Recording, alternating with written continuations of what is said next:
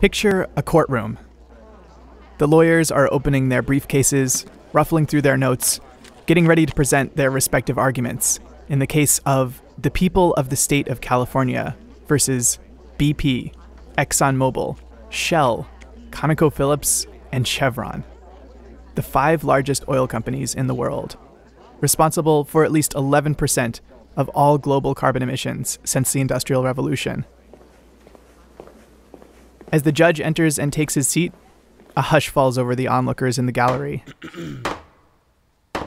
the case should be a slam dunk. But the judge dismisses the suit.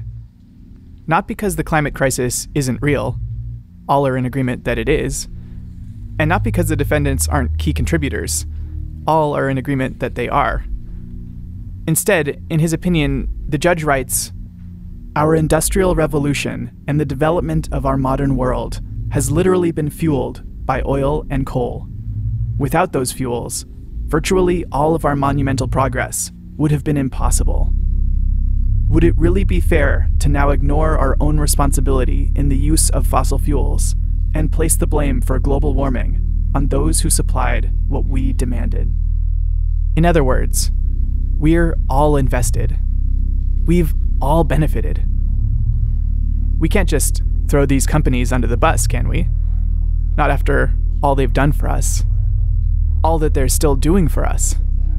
Look at what we've built together. Perhaps this is what the proud denizens of Atlantis thought as their fabled metropolis was swallowed up by the sea.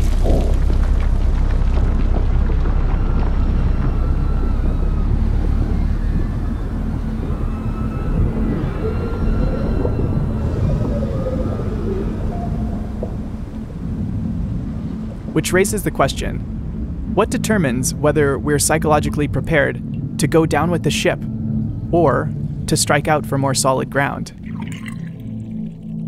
Deep at the bottom of the ocean, amongst the wreckage of doomed vessels and stoic seamen, lie the dragons of sunk costs.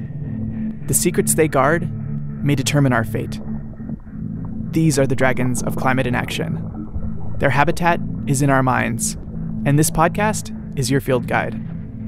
Welcome to Chapter 6 Relatives of the Deep. This is Scales of Change, a field guide to the dragons of climate inaction. Join us as we learn to spot them in the wild and discover how they can be disarmed. Produced by Future Ecologies on the traditional territories of the Lekwungen and WSÁNEĆ peoples, with support from the University of Victoria.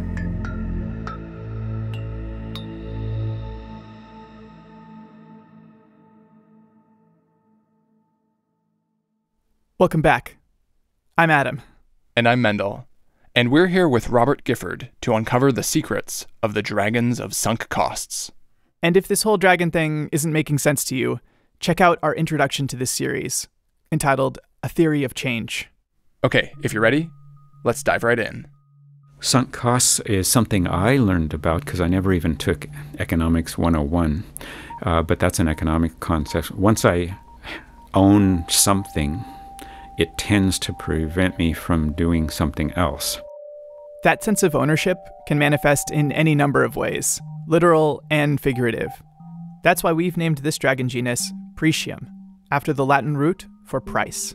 The most straightforward form of ownership in our society has its mirror in the dragon of financial investments, Pretium pecunia. So the obvious one, which is not by no means the only one, is say owning oil stocks. So I have a colleague who owns a bunch of oil stocks, and so because of cognitive dissonance, it's hard for him to also think that climate is a big problem because there's a tension between these two things. And so what we say in the cognitive dissonance literature, it's easier to change your mind than it is to change your behavior. So in that case, what happens is uh, I change my mind that climate change is not important, as opposed to what's a little bit harder, that is, sell my oil stocks. These kinds of financial entanglements can influence our behavior. They're the reason politicians and judges are expected to recuse themselves from decisions that may affect their personal investments. The dragon of financial investments operates at a societal level too.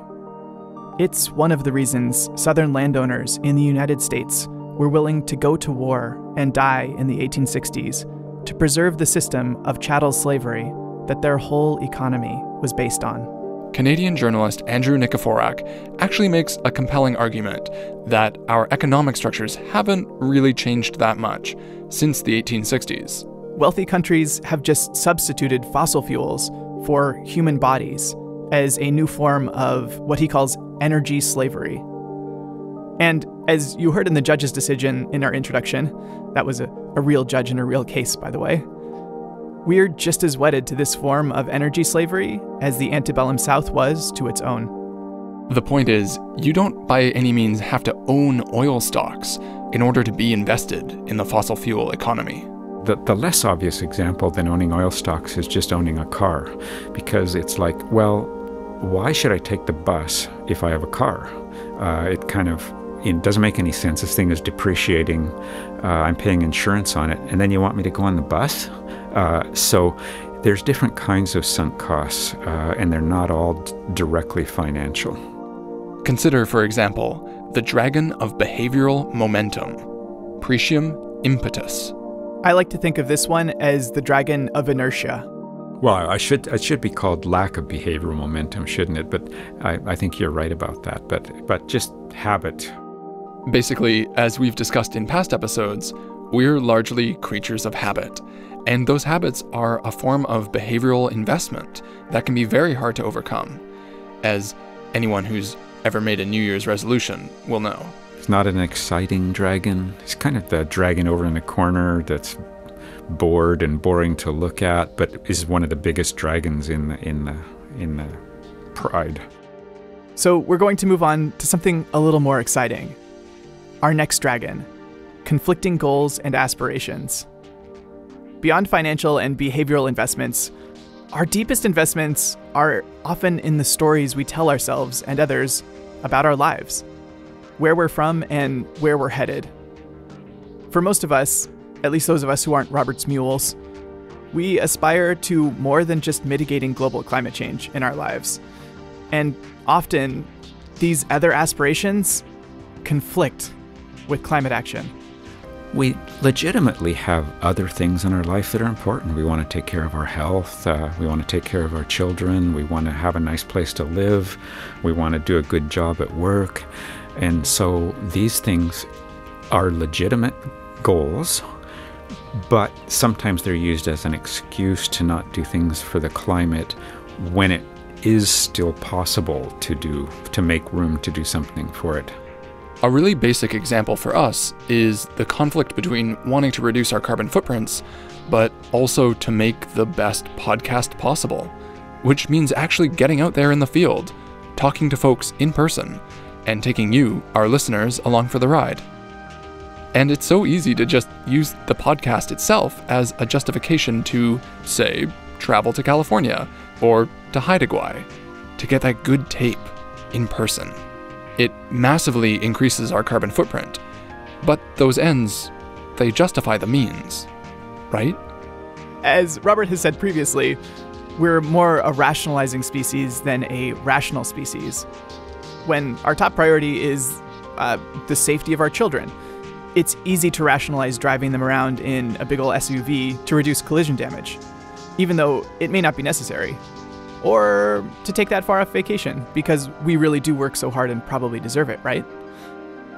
In this way, we can give ourselves a nearly endless license to consume energy and resources. If we can afford it. By just framing that consumption within a set of highly justifiable priorities, like health or safety, stress reduction, career goals, or even trying to make a podcast to help spur climate action. But as Robert said, it doesn't have to be either or. So we split the difference for this series by doing our interviews remotely and still going out into the field, but keeping it really local. And we just hope that for all of you listening from beyond the Salish Sea, there will still be a lot for you to take away from all this. It's our 100 mile podcast diet. And staying local has allowed us to focus on one of the most challenging dragons of all Pretium de Socioterra, or the dragon of place attachment. We're going to spend the rest of this episode focusing on place attachment, or the lack thereof. When Robert first explained this dragon to us, it seemed really straightforward. If we have a strong relationship to place, we're more likely to want to protect that place from environmental harm, more likely to notice the effects of the climate crisis that are already impacting the places we love. And reciprocally, if we move around a lot, or don't really have a strong connection to place, we might not notice the world changing or really care about what happens to the places that we live in. You know, if it's my nest, I want to make sure it's nice and uh, clean and looked after. If it's not my nest, I'm kind of a cuckoo bird who lays eggs and lets somebody else take care of it. There's one for your biologist there. uh, you know, I'll take it. And the metaphor is actually more apt than it appears at first. Because as we're about to discover, the idea of place attachment is so much more complex than just we care or we don't care about the places we live in. It touches the deepest parts of our emotions and our identities, perhaps even our languages. Which is why Robert directed us to a subject matter expert. Yeah, this one is should be credited to my former PhD student, Leila Scannell. She's the, the global expert on place attachment, and I'm just the hanger on or the supervisor or something like that. And through the power of podcasting, here is Leila. So, my name is Dr. Leila Scannell, and I am a researcher, um, environmental psychologist, and I've studied uh, place attachment in various different contexts. Starting with the basics. Place attachment is a strong emotional connection between an individual and their important environment. So it's emotional, it's a cognitive, um, it's a behavioral connection between an individual and their important place. And that important place can take many forms. The literature says some of the most common places we become attached to are places of residence. It may be a childhood home, places in nature, that's very common as well because we know that re- nature offers us certain psychological benefits, and so that we're more likely to be attached to those types of places. I think most of us have at least one place that has this special emotional attachment to it. Whether we return to our childhood homes in our dreams or fall in love with a particular ecosystem, or, you know, just spend all of our lives in the same community. So far, so good. But here's where it gets complicated. We knew from speaking with Robert that the longer we stay in a place, the more attached we're likely to be to it. One thing we know about place attachment is, by and large, one of the main factors is that people's place attachment grows with the length of time that they spend in one place. They get to know it better, they become familiar, they begin to identify with it. And so, one of the reasons that place attachment is related to more positive attitudes is simply the length of time that you spend in a place. And from there, you can infer that the less time we spend in places, the less attached we are to them. And the less attached we are, the more likely we are not to notice or care about environmental degradation. That's true. The you know what the, the average length of time people spend in the same place is shrinking uh, by the year. Uh, and so that's creating less and less place attachment in general because the not surprisingly the main predictor of place attachment is length of residence in a place. It's not the only one, but that's the, the, the key predictor. So the more uh, we're a migratory society, the less place attachment, and then the less care about uh, about that environment. And I think this rings as intuitively true to many of us. I've personally moved dozens of times in my life, from Florida to Ontario, California to British Columbia, and I've just now finally chosen a place to put down some roots and try to practice place attachment as a form of climate action. So, the idea of a highly mobile society losing that place attachment makes a lot of sense. But when we spoke to Leila, something much more unsettling came to the surface. But I wouldn't say that lack of place attachment is a problem in society. In fact, oftentimes I think that people are so strongly attached to a place that sometimes that can be the problem. She took Robert's dragon and flipped it completely upside down. Yeah, so it could be somebody's totally disconnected from a community, they don't care, or they're disconnected from the natural environment, and so in that sense, they don't have motivation to protect it.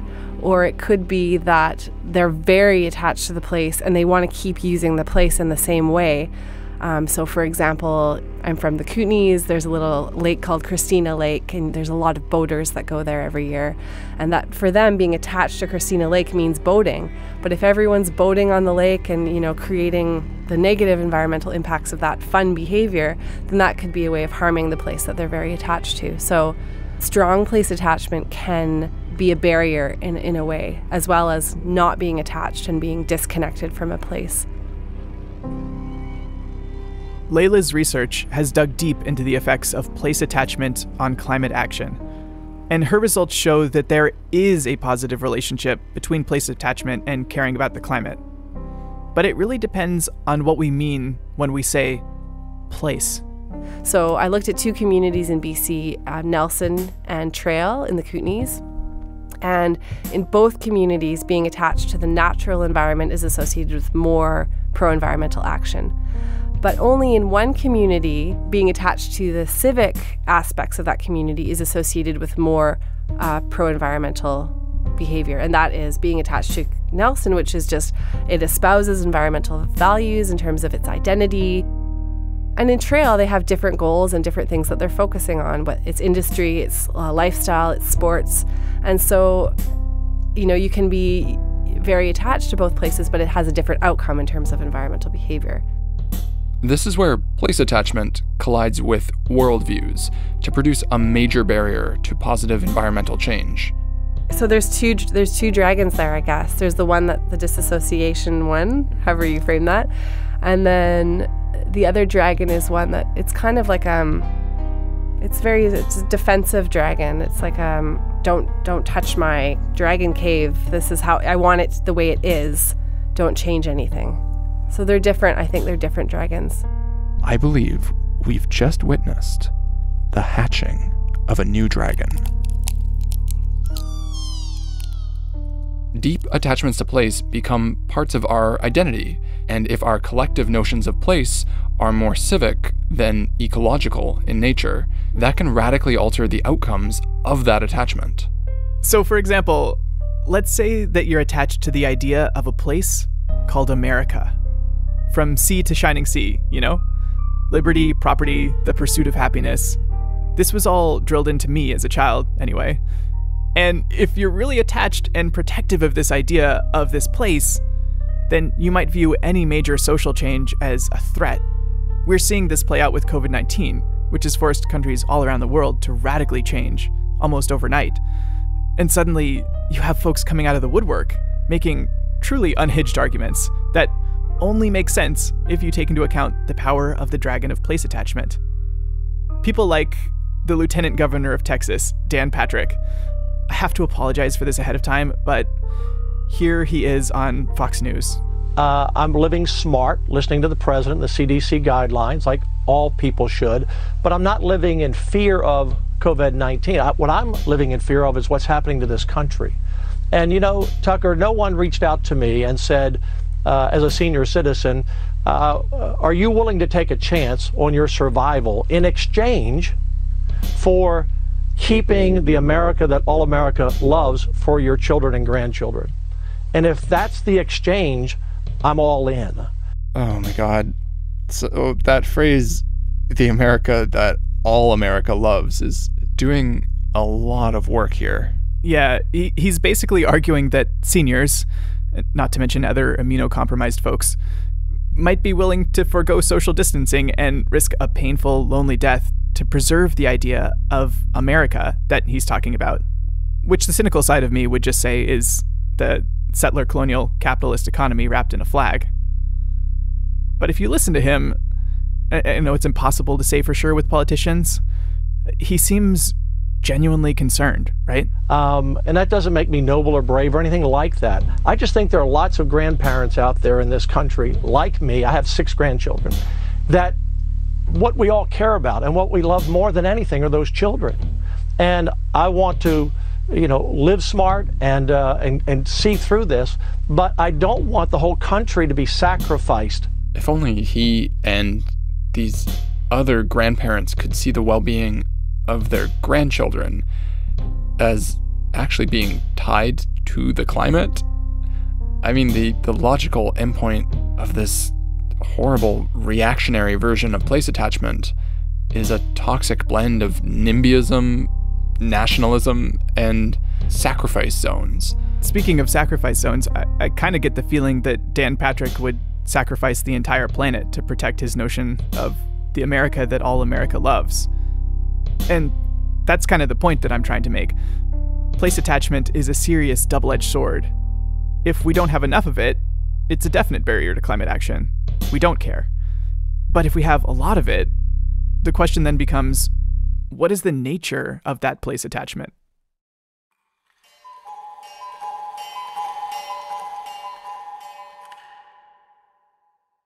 Different cultures can perceive place in radically different ways.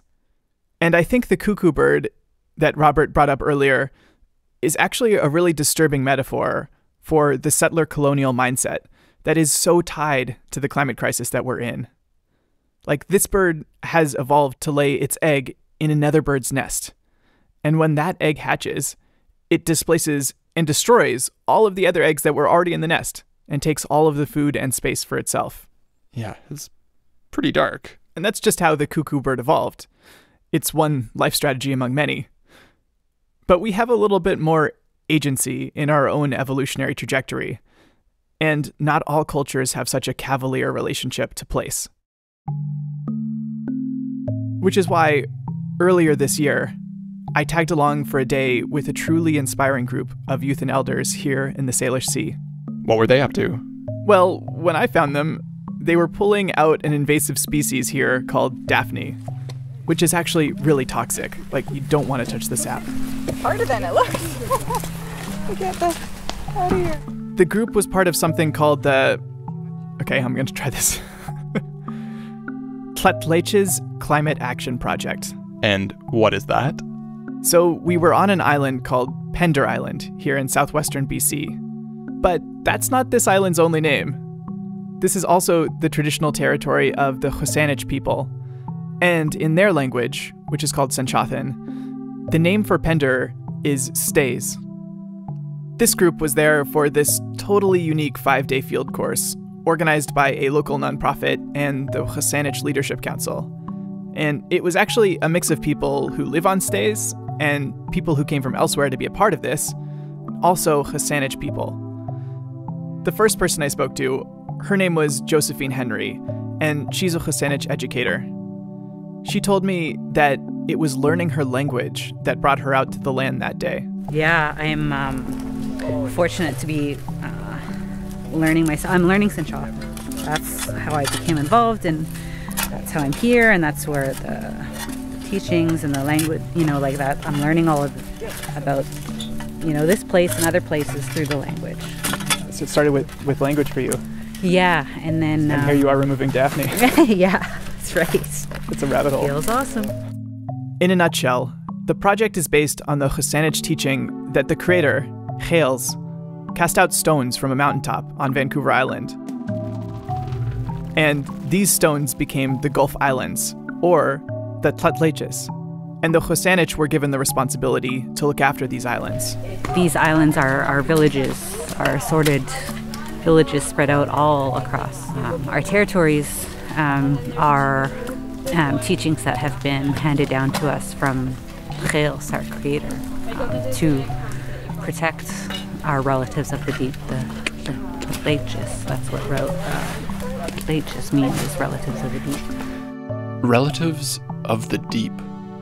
I, I can see that you'd be more inclined to protect these islands if you think of them literally as members of your family. In the creation story of these islands and of these places, that's what he foretold as he, you know, after, upon creating them. Protect Quantat and Stjelacha. So they are supposed to, meant to protect these places, our other homelands, all of our homelands, as they were our relatives of the deep. So, so and so I'm here. Yeah, doing your part. yeah, trying. Getting this Daphne out. yeah. Again. Mine, can I give it a tug? Yeah, go for it. See if it'll come out. Ah, I can't keep my distance from this stuff. It's Sounds like you two are really getting to the root of the problem. I couldn't resist getting my hands dirty. But yeah, the, the root of the problem is displacement, right? And that sense of displacement was also felt by the non Indigenous folks there, who were, in some cases, getting to know the places they already loved in a completely new way. All right, what's your name? Nadia. Nadia, why are you here? Uh, I'm here because I was born and raised here on Pender Island, and I didn't learn anything about uh, the WSÁNEĆ history of this place throughout my whole childhood. And it's almost like the course was designed for somebody with Nadia's background. I mean, I used to be more of a climate activist in the sense of advocating for particular carbon reduction limits and that and I, I still think that's of course absolutely critical but uh, I think over time I've learned more about how the colonial regulatory system works and now I see the future in like the revitalization of indigenous governance and laws as climate action. And this is why she was out pulling Daphne that day. The land we were on is a WSÁNEĆ reserve, bordering what is commonly called Bedwell Harbor. And it's literally right next to this upscale resort called Poets Cove. The indigenous history of this place in particular, the Bedwell Harbor area, but Pender in general, was essentially erased from my understanding of this place um, for my whole life. Uh, I took swimming lessons at the pool here at Bedwell Harbor as a kid, and my first ever job when I was 13 was cleaning rooms at the resort, and my mom was doing the bookkeeping, and and I continued to work at Poets Cove for a number of summers after that. I remember Poets Cove being constructed after they demolished the Bedwell Harbor Resort, and I still didn't know the Indigenous history. And maybe there were folks talking about that at the time, but I wasn't hearing it because I was a teenager and I was just, you know, self absorbed doing my own thing, right? And so now, uh, learning, like actually sitting with WSÁNEĆ elders, telling their stories of this place and the pain that still they still experience as a result of their communities and their people being removed from their stories and their histories has been really moving for me. Yeah, so I have a lot to reflect on and think about. You know, I get the sense that, like Nadia, growing up in a place like this, she she would actually be the kind of person who would have some serious place attachment to places like Poets Cove and Bedwell Harbor as they are today. You'd think, right? But here she was, trying to undo some of the damage and learn to look at the place differently. The thing is, the WSÁNEĆ were forcibly removed from these islands, and Poets Cove is actually built on top of a WSÁNEĆ village called Quenquinu. It's really messed up. Village sites in this part of the world often include these middens, which are filled with remains of what people were eating, but also human remains. And when the building crews excavated to build Poets Cove, they actually just took all of those remains and dumped them unceremoniously on the WSÁNEĆ reserve lands. So later, when we gathered around the fire to eat some salmon that they'd been cooking there in the traditional way, on these long skewers, WSÁNEĆ hereditary chief and residential school survivor Eric Pelkey talked about what it was like to go through that soil. And uh, actually, uh, 40 sets of remains they found there. And uh, it was pretty heartbreaking for them. So yeah, that's that's that's what all this dirt is here. You see, so it's a pretty heartbreaking thing to see, and it's a constant reminder to us when we come here that that is those are the remains, the dirt that was removed from the, the excavation site when they expanded this hotel. and our people had to come and sift through that to, to find those remains. So that that is that is what this land really uh, really means to us. This is our old village site, and uh, so it really really means a lot. And that's just one village site. The WSÁNEĆ people, they, they lost so much more than that. We we had a permanent camp down in, Cana- in uh, Pender Canal that belonged to our family. They've been used used continuously, and then it was turned into a park.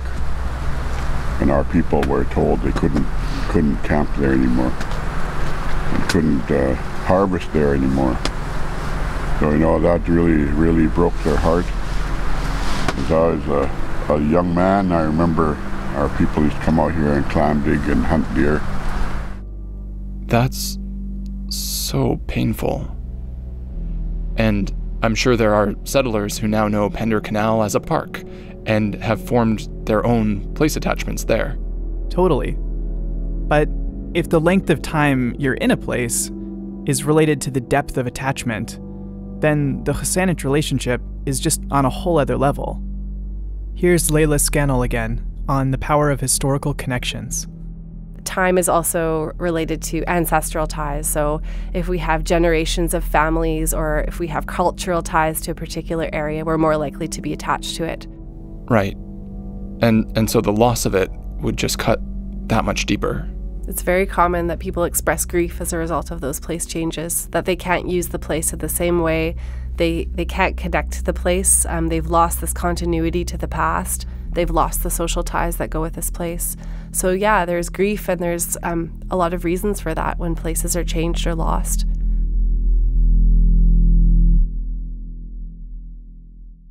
I heard a lot of grief that day.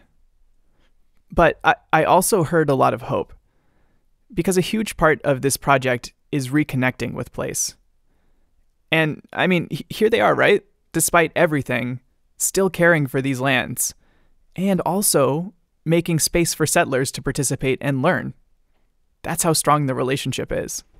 But how can a relationship, even a strong one, survive such a violent displacement? The thing that kept coming up again and again was the role of language. It didn't really sink in until I was on the ferry back home later that evening, but luckily, our associate producer, Simone Miller, actually attended one of these courses herself a couple weeks later, and she got to sit down with some new friends and really dig into the conversation. They were actually staying at Poets Cove for that course, and so Simone had to improvise a little bit. We're also we're in the employees room right now in the hotel, so there's a element of risk. Risk, here. yeah. Risk factor. Kind of spicy. Yeah, a bit of spice. Hoping there's no cameras. Yeah. the I feel like right they'd be here by now if they if there was cameras. It sounds like a covert operation. I guess so. Anyway, here's Peter. Yeah, um, it's Gwachel. My name is Peter Underwood. Yeah, I I work at the University of Victoria, and I'm here at the ṮEṮÁĆES Field School. And this is Sarah, a WSÁNEĆ visual artist and restorationist with the Sneakwith Resiliency Project. Uh, Sarah Jim Thunet Snet, Chisala Sin Et Husanich, Chisala Sin Et Husaikum, Elalang. So I just introduced myself in SENĆOŦEN and I just learned how to do that the other day, which is really exciting. So it's not as fluent or fluid as it should sound, but it's practice. I mean, that sounded fluid enough to me. So, what what is the relationship here between language and place? Well, at, at the most basic level, there are place names. And when Simone asked Peter about place attachment, Peter referred to a place that's called Clover Point, after a delightful plant that used to grow there, called Springbank clover. It's a pretty well known spot in the city of Victoria, British Columbia. So yeah, uh, at Clover Point, there's no more Springbank clover, so that kind of defeats the name of the purpose of the name of it being called Clover Point. The same thing happened with like um, so many SENĆOŦEN place names. SENĆOŦEN is the uh, is the language of the WSÁNEĆ people, but a lot of the SENĆOŦEN place names are they no longer hold the same meaning because the name usually includes what is in the place, usually like a plant or an animal, and a lot of those places no longer have that unique feature anymore.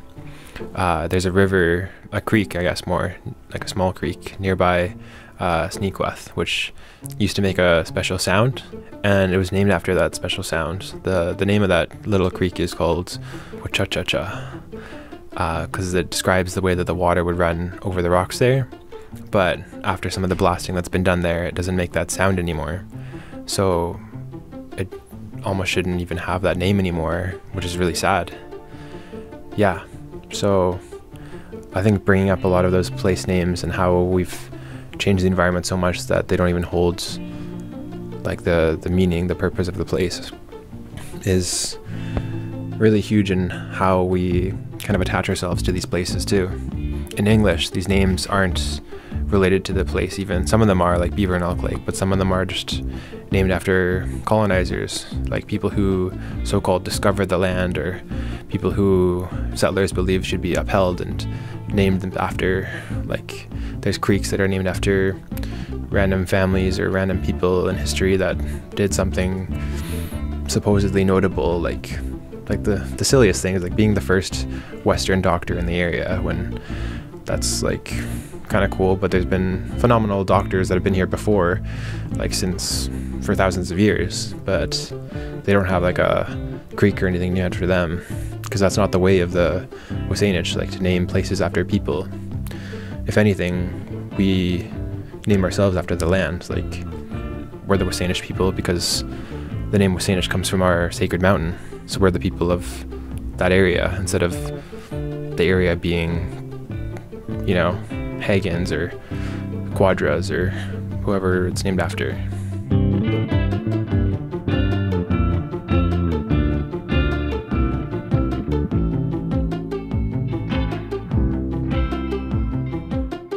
So, there's knowledge about place that's embedded in language, often through names, and which is made invisible when settlers just throw some sailor's name, for example, on that place instead. And that sort of allows people to change the place so thoroughly that the indigenous name hardly even applies anymore. Yeah, and if, if you look around, you can see this everywhere.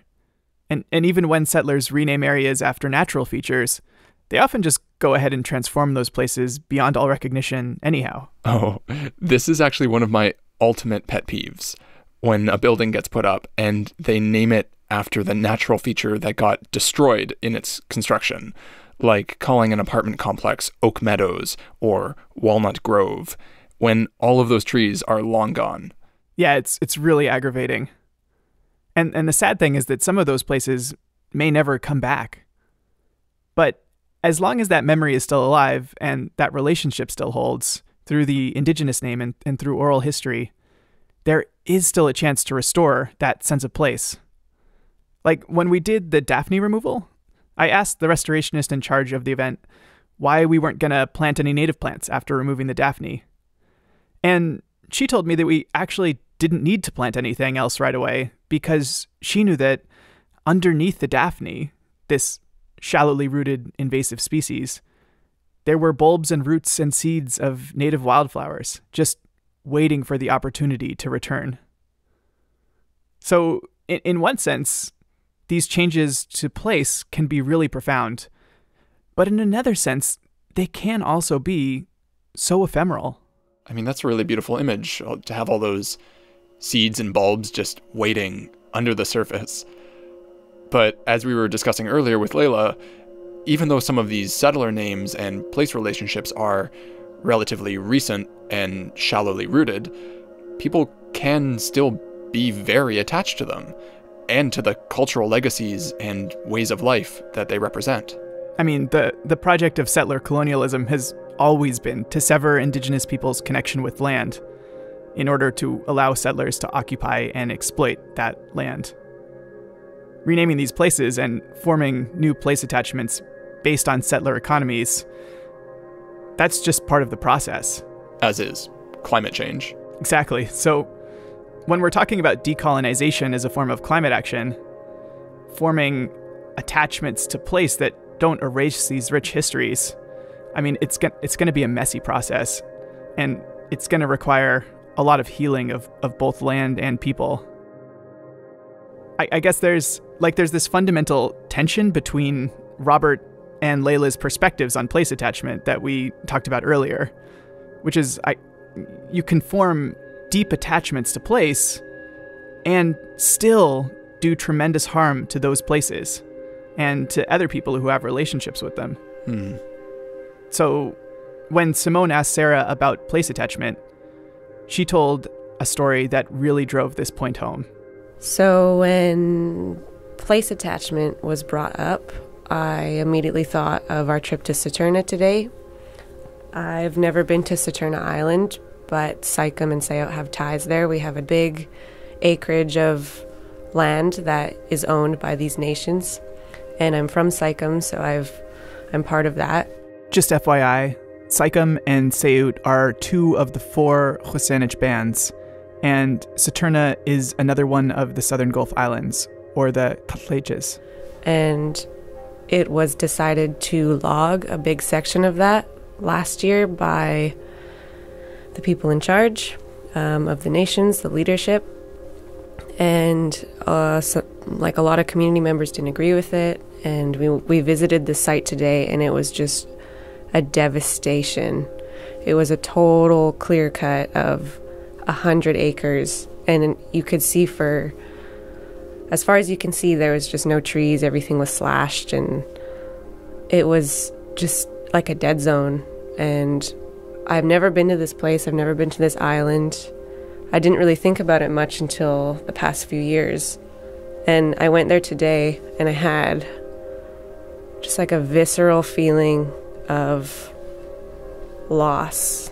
Like I felt like part of me was missing from this loss of habitat, this big forest that was old growth.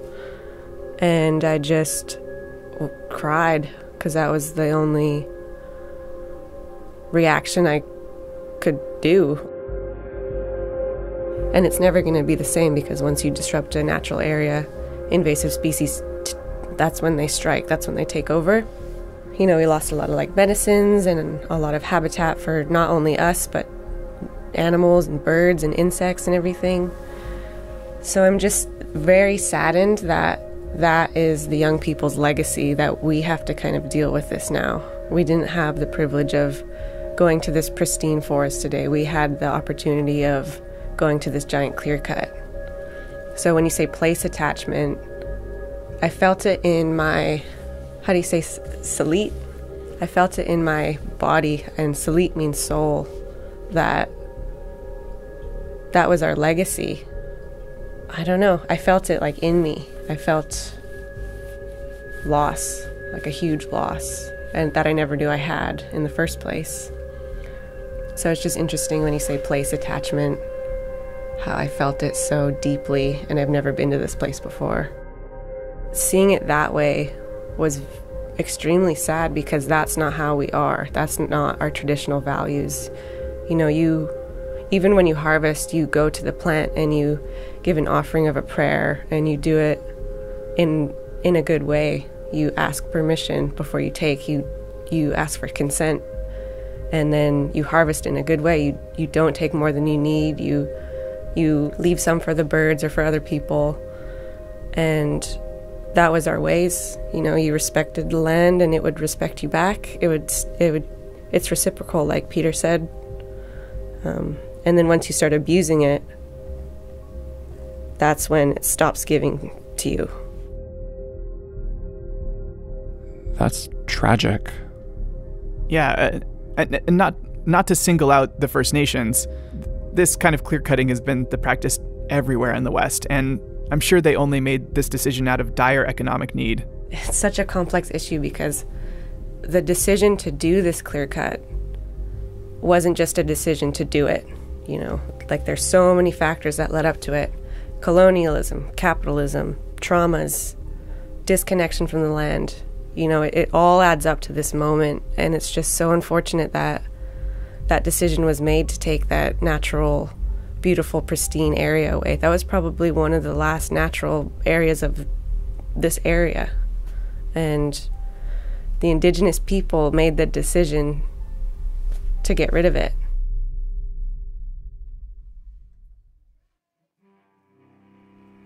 I, I think just sitting with this moment that Sarah is processing something that we all have to come to terms with eventually. That no matter who we are and where we come from, we're capable of harming the places that we love. I mean, we live in systems of exploitation that make that almost inevitable. Right, yeah. And as she said, there's so much history behind a decision to clear a forest like that. But what really stood out for me from the experience that she describes is that Sarah had never been to this place before. And she still felt this pain and a desire to heal that land without any prior relationship. And it says to me that we don't need to carry forward the same destructive relationships to place of people that came before us. We can choose to take a more restorative path. It's our land. It is our land. And as Indigenous youth and just the community in general, we can band together and fix it, plant, restore. You know, there's there's opportunities. So it could be a teaching tool in the future. And that's the kind of spirit of what I think people came away with from these courses. This attachment to place, even though it can be fraught, might be the best common ground that we have to work from, even with folks who are very different from ourselves. Here's Josephine again. You know, we've finally found um, common ground to share.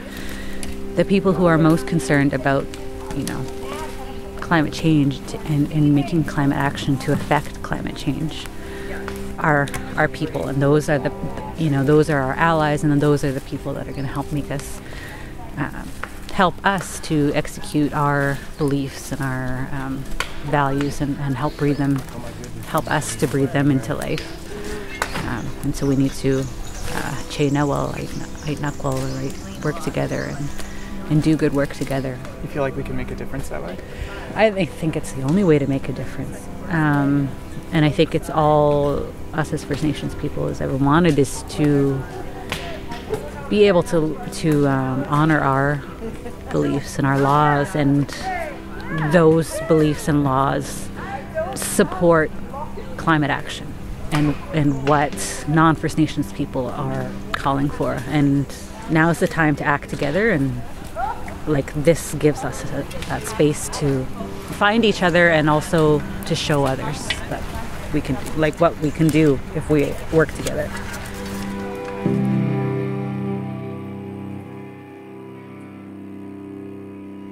So, the way that I've come to see it, place attachment might be both our best chance to confront the climate crisis and also our greatest cause for concern depending on the nature of that attachment.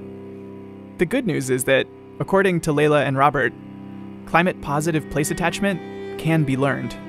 Yeah, my thought about that is that a person, even if a person's only lived for a short period of time in a in a place which could be associated with less lower levels of climate action, one can be more mindful about the place that one lives in, even if one's only lived there a short period of time. Pay attention to that place.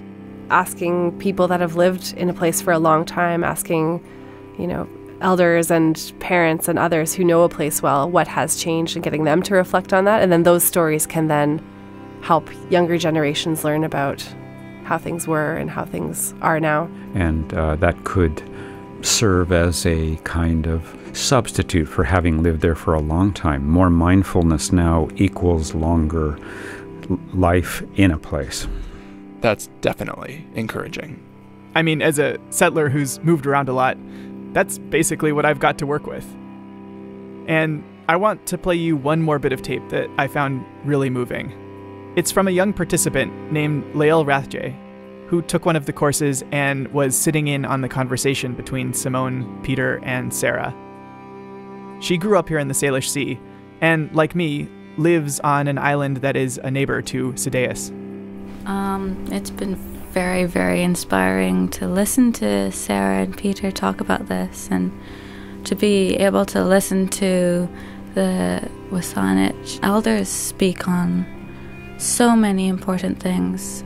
I feel like more than anything, this this course, this it's um, taught me to not feel so guilty about being here. Um, as soon as I was old enough to understand what had happened here, I just I've never felt quite right being here. I feel like I I was intruding, even though I was born here. So it's it's I think being able to meet everyone and learn from them and learn ways to to fix things or at least to help in that way it's it's connected me more with my home again in a way I haven't really felt connected since I was very young. Oh, I am honestly really impressed by the, the sheer quantity of hope that you've been able to squeeze out of this conversation. That episode on Hope Punk really turned things around for me, you know? Nice. Well, I'm glad. So, the bright spot here is that people are actually open to reevaluating and changing their relationship to place. Especially if they realize that their understanding of that place is incomplete and maybe even causing harm to other people and the climate. Yeah, and that investing in that relationship can also be a profoundly healing and enriching experience, even though it can be painful sometimes. I guess I guess the question for me around all of these dragons of sunk costs is kind of a choice of what emotional and financial investments it's time to finally let go of and what we should be looking to invest in going forward. Yeah, what what to nurture and what to let go of. What what kind of change to embrace and what kind to resist. And that's a perfect segue to our next and final chapter of Scales of Change.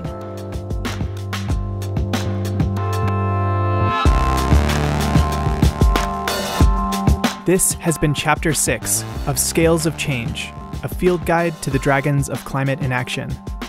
We'll be back next week with our next and final chapter A Form of Life. Scales of Change is a production of Future Ecologies with support from the University of Victoria. In this chapter, you heard Robert Gifford, Leila Scannell, Josephine Henry, Nadia Nowak, Eric Pelkey, Peter Underwood, Sarah Jim, Lael Rathje, myself, Adam Huggins, and me, Mendel Skulski. Huge thanks to Simone Miller for going out into the field and getting us that good tape. Special thanks also to Paul Petrie, Sarah Jim, Suzanne Ahern, Anne McLaurin, Andrzej Kozlowski, and all the elders and participants who spoke with Simone and I on Sadeus, but that we couldn't include here, including Celilia, Belinda Claxton, Sasayton, Earl Claxton Jr., Judith Lynn Arney, and Ty Swallow. Besides discovering the dragons of inaction, Robert Gifford is literally the author of the textbook, Environmental Psychology Principles and Practice. Leila Scannell is a Banting postdoctoral fellow at Royal Roads University. Josephine Henry is a WSÁNEĆ Indigenous Language Revitalization student. You can follow her on Twitter at WSÁNEĆ Josephine. Nadia Nowak is a climate activist who grew up on Sideus. Eric Pelkey is a hereditary chief of Tsawout of the WSÁNEĆ First Nation. You can follow him on Twitter at Pelkey underscore Eric. Peter Underwood is a WSÁNEĆ student of Indigenous Studies at the University of Victoria. Sarah Jim is a WSÁNEĆ visual artist and restorationist with the Sneakwith Resiliency Project. You can find her incredible artwork at sarahjimstudio.com. And Lael Rathje is a climate activist and youth member of the Salt Spring Island Transition Town Board. To learn more about the ṮEṮÁĆES Climate Action Project, visit www.sgicommunityresources.ca slash climate dash action dash project. Our theme song for this series is by Lom Zoku. Other music in this episode was produced by Radium 88, Bleer Moon, Ben Hamilton, Dust Motes, and Sunfish Moonlight. You can tweet at us or follow us on Facebook and Instagram at Future Ecologies.